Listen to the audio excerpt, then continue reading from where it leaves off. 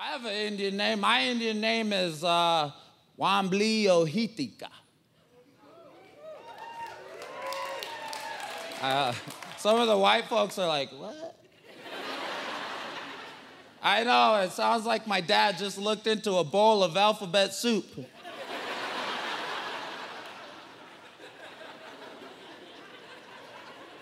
we shall call him.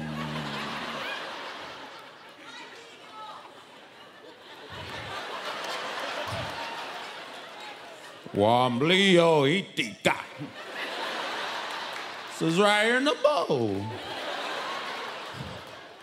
It actually means something though. It does. It means brave eagle, he who soars in the heavens. I made that part up. It don't mean that.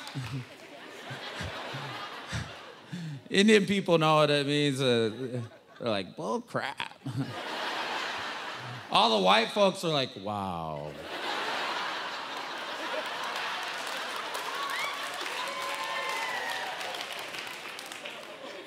I wish they would have named me something different, like uh, Maza Ska Wambly, because that means rich eagle. he who travels first class. I tell you what, right now, you do not want to see me in first class, because they get drunk up there. The lady would be like, You want a drink, Mr. Redwater? You don't want to see me drunk, lady. If I get drunk, there's gonna be some fighting up in this place. I'd be like, who wants to go? That's the thing, like everybody always says, all Indians ever like to do is drink. All right, all right, all right. I'll give you that one. But it makes perfect sense, man. You see, because the white man introduced alcohol to the Indians so they could steal our land. And some people, right? And some people call this one of the worst genocides in history. But I like to call it one of the longest happy hours ever.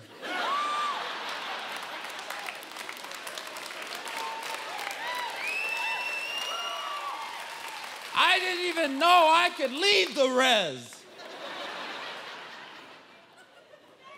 I did it.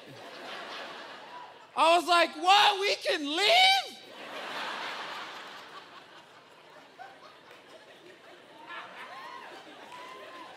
We can leave? And my mom was like, I thought you knew. No, I didn't know. I thought we were stuck here. I'm 30 years old.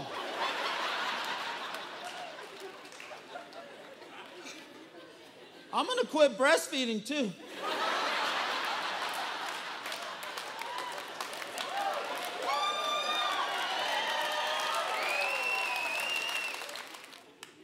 I was drunk every day because she was drunk every day.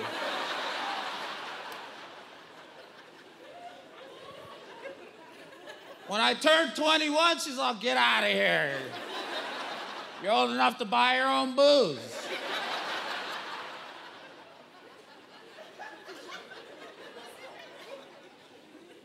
I used to stand on the reservation line looking out.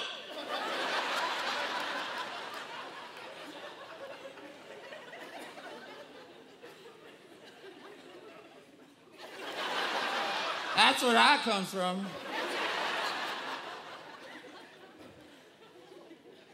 Man, I, you know, and my family used to get mad at me. They're like, hey, JR, get away from there. You're going to get us in trouble. And I was like, oh, I'm waiting for the sacred Budweiser truck to arrive.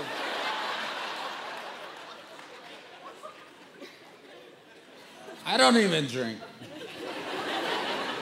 Actually, I'm I'm uh, over seven years clean and sober right now, man.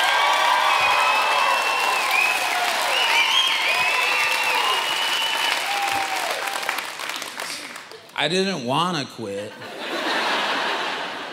I had to quit. The judge told me to quit! Quit!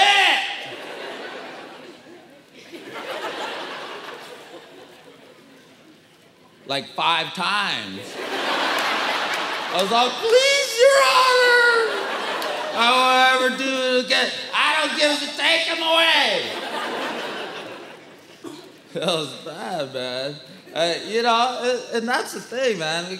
I, you know, I'm allergic to alcohol, quite honestly.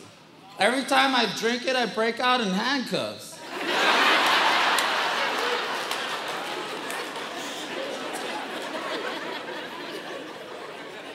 And when the cops pulled me over, they're like, we're gonna have to give you the breathalyzer test, Mr. Redwater. And I was like, no way I'm gonna pass that Oscar And it turns out I was wrong because I got a 4.0 on that test.